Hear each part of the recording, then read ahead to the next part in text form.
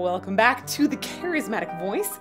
I just realized that when I think about grunge music, I only think about male vocals.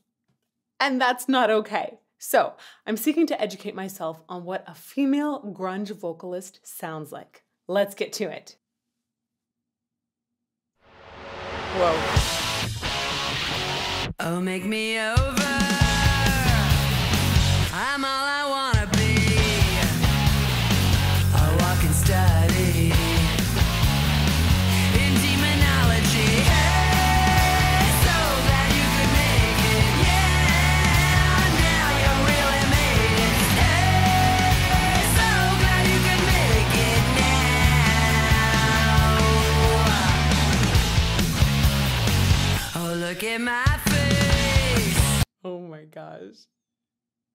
This is like this is so wildly fun to hear within the context of some of the things that I've been really digging into. like I feel like so many exclamation points are going off in my head right now. It's really, really fun. I'm gonna go back to the beginning, uh, and we're gonna talk about those exclamation points.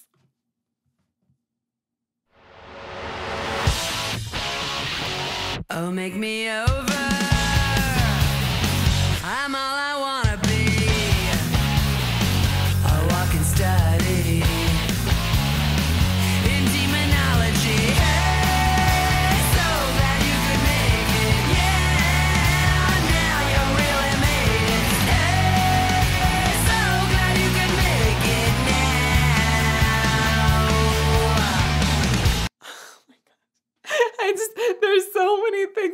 like, whoa, whoa, whoa.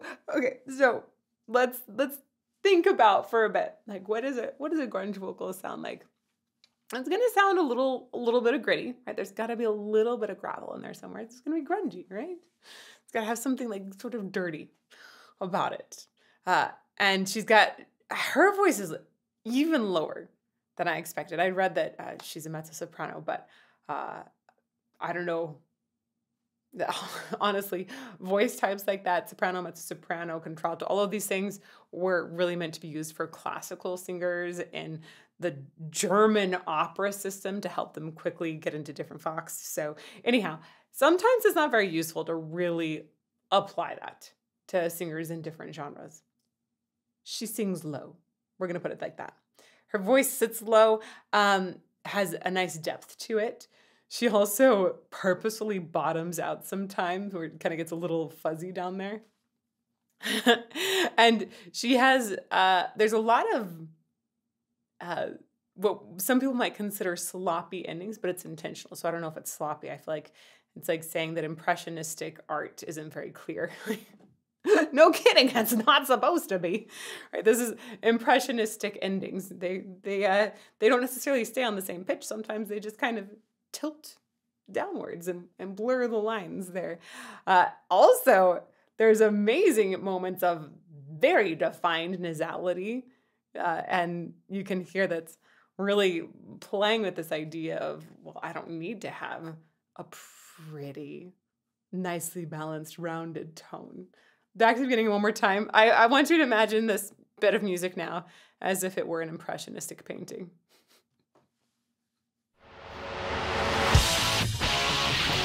Oh, make me over. I'm all I wanna be. Like, kind of slurred oh, A walking study in the vocal. in demonology. Hey, so glad you could make it. Yeah, now you really made it. Hey, so glad you could make it now. That is especially done with it. It's like it's got a little almost cat in the sound. Meow.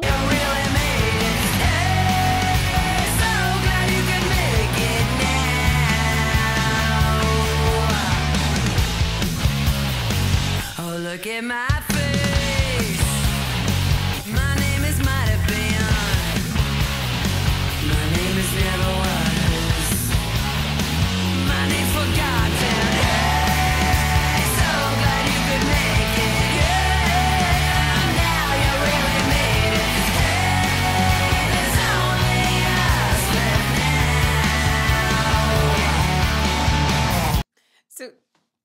Digging into, uh, or I've been digging into uh, grunge a bunch and trying to understand how it's really set in time. Um, obviously, it actually the the grunge movement in Seattle spanned uh, such a small time period, just you know early '90s, and this is coming out. I think I want to say 1998, and uh, I'm going to double check that. 1998. 1998 album Celebrity Skin, indeed, and uh, and she Courtney was married to Kurt Cobain, so there's going to be a lot of influence in the sound there, and I'm sure that was also very difficult. Um, and at this point, it seems like the grunge movement, I don't know how much it's really continuing into Hole's sound or if they're evolving. I've read some things that say that Hole like evolved to be more mainstream at this point. It does feel like it has somehow a little a little more in your face um, sort of drive. It feels more mainstream somehow. I'm not able to really pin pin my finger on why it feels more mainstream. It feels uh, maybe a little more catchy, although some things like Smells Like Teen Spirit also has a lot of catchiness to it. But it doesn't feel as much like a garage band, something that is, you know, just being made uh, without much desire of a public eye on it. This is definitely uh, making statements about being a celebrity, and and I think how it might suck with all of the pressure to be something you maybe don't really feel like you are. I'm gonna go back a little bit. Is never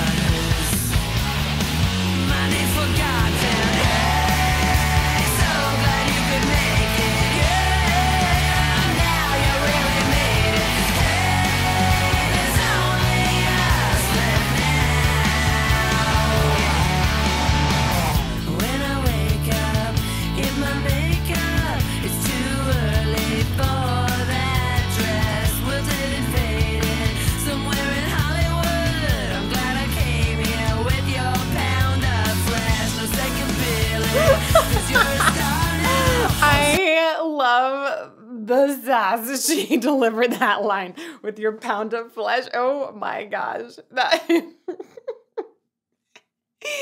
this woman has attitude. Somewhere in Hollywood, I'm glad I came here with your pound of flesh, no second feeling, 'cause you're a star now. Right? That this definitely feels to me like it has like a little more drive, like maybe a little more punk elements going into it, a little faster pace, not as um down, but at the same time, it has just this feeling of I just want to be a gritty human.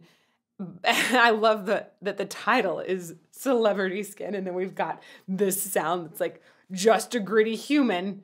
it's really conflicting with that idea. It's just a, a fascinating, yeah, fascinating um, what's a word?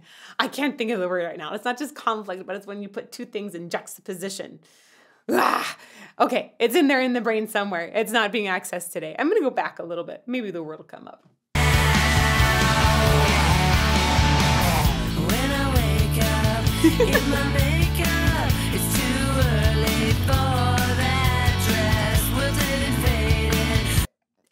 I feel like she's sorry. I paused again. I know, but she's basically describing Mrs. Maisel, who like does the whole thing where she wakes up, does all of her makeup and everything perfectly, and then pretends she's been sleeping the whole time. I am so so very happy that I get to work from home, y'all. It that is a really nice thing. Yes, we go out on the road and we'll do other things, and then I'll be waking up early with my makeup and everything. But um, and, and yes, I have a two year old, so any amount of sleep is appreciated. Um, but just this expectation of women getting up really early, doing their hair and makeup, and then going to work. I I did it for years too. Oh my gosh, it is so exhausting. I have wanted so many times to be a dude so that I didn't have to deal with that. so, uh, thank you for reminding me how lucky I am to uh, get to work from home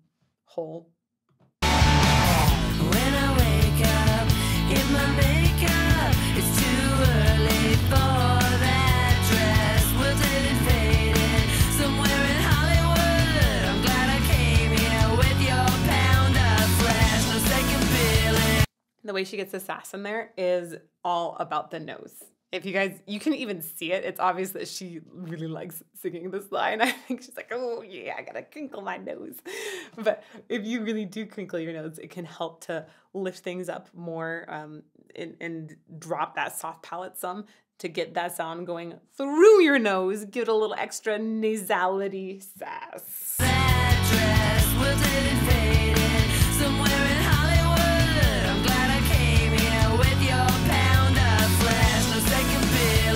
Also, she goes flat on the note on purpose.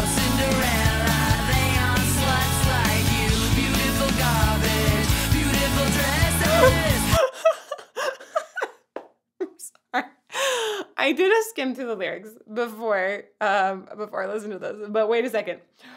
I missed this part. Oh Cinderella, they aren't sluts like you.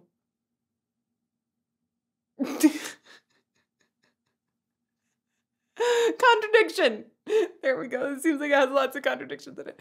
Oh man. These lyrics are hilarious and so good and actually really insightful at the same time. It checks a lot of boxes.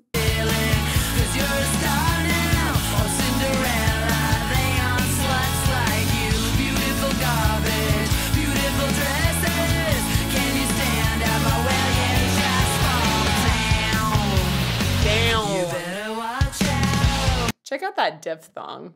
Down. She actually adds an extra vowel to it.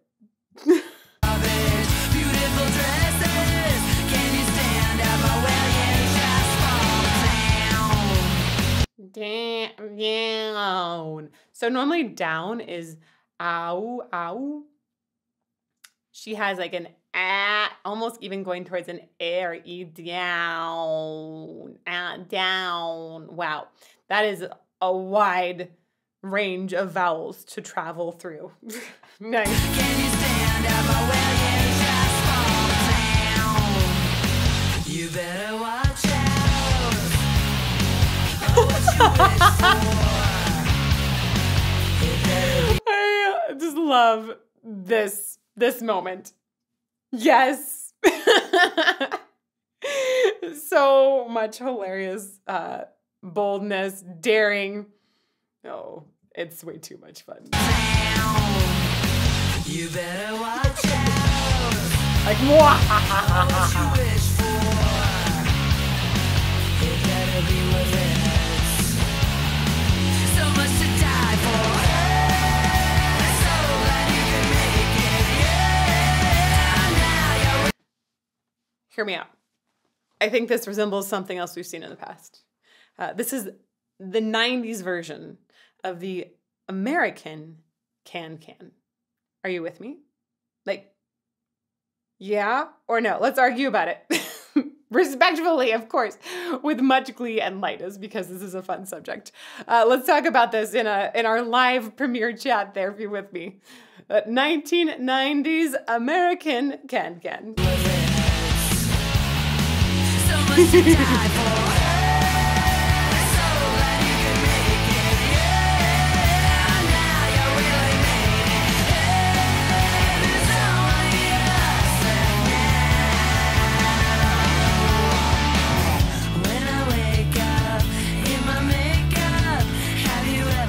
So surprisingly light in this section. When I heard it come before too, I was thinking like, wow, that's yeah. There's it almost feels like it's not grunge right here, except for the way that her sound still has that nasality in the edge. When I wake up in my makeup, have you ever felt so used up as this? And the impressionistic rush of, of pitch.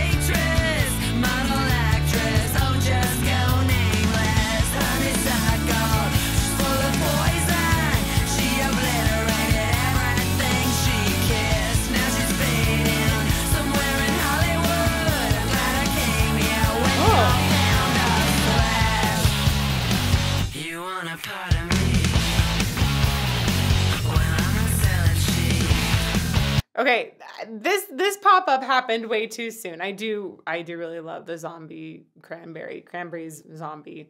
I think is one of the most incredible songs, and especially the music video too. But um, popped up way too soon, was very distracting. I thought we were about to get a sudden end. I'm going back to catch that better.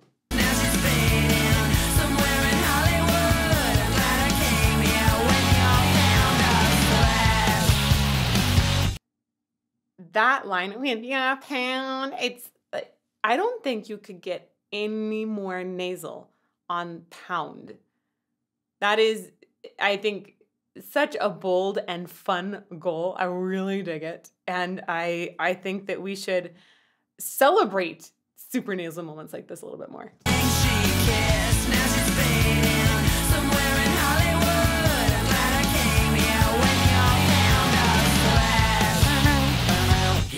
That's catchy. It's hooky.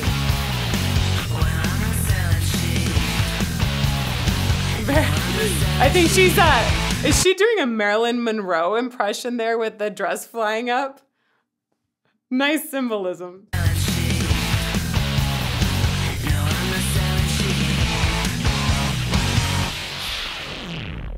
Ooh, that was a fun in sound. The female grunge sound is way more fun than I expected. And I'm going to continue to dig more into grunge in general, figure out why it's good. I know it's good, but I'm I'm trying to get all of these details together and put it together in some sort of course so that people can enjoy grunge as much as I get to enjoy grunge. So if you want to learn more about that, I'll put some information about it in the about section in the comments. And if you just want to hear some more analysis of grunge, I'll put up a playlist over here. But whatever you do, may you fall more in love with music every day. Mm-hmm.